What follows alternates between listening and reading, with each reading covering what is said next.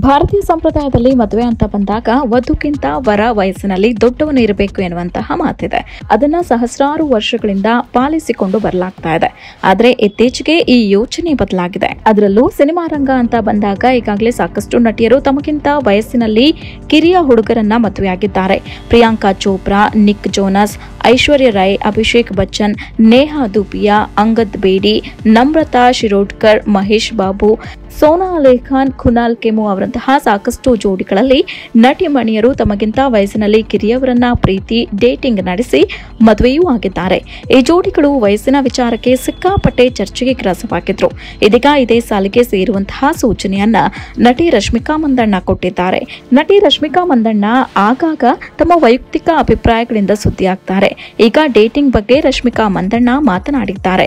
ಅದರಲ್ಲೂ ರಶ್ಮಿಕಾ ಮಂದಣ್ಣ ಮದುವೆ ವಿಚಾರ ಬಂದಾಗ ಸಿಕ್ಕಾಪಟ್ಟೆ ಸುದ್ದಿಯಾಗಿ ಬಿಡುತ್ತೆ.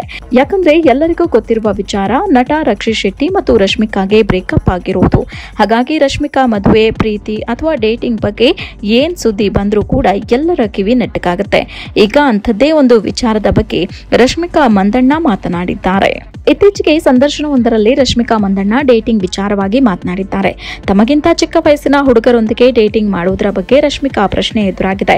ಈ ಪ್ರಶ್ನೆಗೆ ರಶ್ಮಿಕಾ ಉತ್ತರ ನೀಡಿದ್ದಾರೆ. ರಶ್ಮಿಕಾಗೆ ಈಗ ಇಪ್ಪತ್ತೈದು ವರ್ಷ. ತಮಗಿಂತ ಚಿಕ್ಕ ಹುಡುಗನ ಜೊತೆ ಡೇಟಿಂಗ್ ಮಾಡುವ ಬಗ್ಗೆ, ತಮ್ಮ ಅಭಿಪ್ರಾಯ ಏನು ಎನ್ನುವ ಬಗ್ಗೆ ಅವರು ಮಾಹಿತಿ ಹಂಚಿಕೊಂಡಿದ್ದಾರೆ.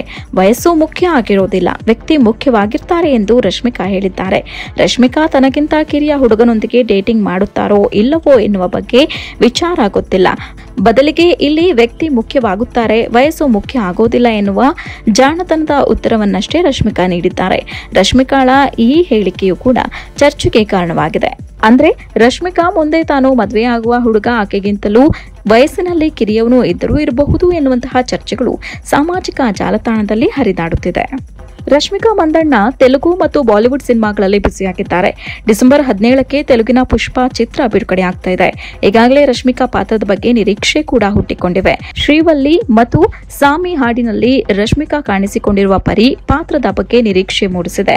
ಹಳ್ಳಿ ಹುಡುಗಿಯ ಪಾತ್ರದಲ್ಲಿ ರಶ್ಮಿಕಾ ಮಂದಣ್ಣ ಸಿನಿ ಪ್ರಿಯರಿಗೆ ಟೀಸರ್, ಟ್ರೇಲರ್ ಮತ್ತು ಹಾಡಿನ ಮೂಲಕ ಇಷ್ಟ ಆಗಿದ್ದಾರೆ. ಸಿನಿಮಾದ ಮೂಲಕ ಯಾವ ರೀತಿ ಮೋಡಿ ಮಾಡ್ತಾರೆ ಎನ್ನುವುದನ್ನು ನೋಡಬೇಕು. ಜೊತೆಗೆ ರಶ್ಮಿಕಾ ಮಂದಣ್ಣ ಬಾಲಿವುಡ್ ಸಿನಿಮಾಗಳ ರಿಲೀಸ್ಗೆ ಎದುರು ನೋಡುತ್ತಿದ್ದಾರೆ ಸದ್ಯ ಮಿಷನ್ ಮಜ್ನು ಸಿನಿಮಾದ ರಿಲೀಸ್ ಡೇಟ್ ಮುಂದಿನ ವರ್ಷಕ್ಕೆ ನಿಗದಿಯಾಗಿದೆ. ಬಳಿಕ ಅಮಿತಾಬ್ ಬಚ್ಚನ್ ಜೊತೆ ರಶ್ಮಿಕಾ ಅಭಿನಯಿಸ್ತಾ ಇರುವ ಗುಡ್ ಬೈ ಸಿನಿಮಾ ರಿಲೀಸ್ ಆಗಲಿದೆ. ಪುಷ್ಪಾ ಸಿನಿಮಾ ರಿಲೀಸ್ ಬಳಿಕ ರಶ್ಮಿಕಾರ ಮತ್ತಷ್ಟು ಹೊಸ ಚಿತ್ರಗಳು ಪ್ರಕಟಗೊಳ್ಳಲಿವೆ.